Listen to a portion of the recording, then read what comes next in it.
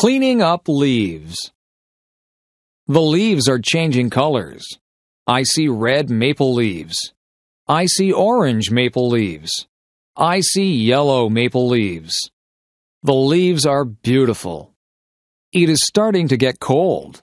The wind is strong. Winter is coming. The leaves fall off the trees. On Saturday, we will clean them up. The whole family helps. My dad gets the rake. My mom gets the garbage bags. My brother and I help too. We gather leaves with our hands. We make a big pile. My brother and I jump in the leaves. We make a big mess. Our parents don't mind. Our parents fill our coats with leaves. We look really big. Everyone laughs. Playtime is over. Back to work.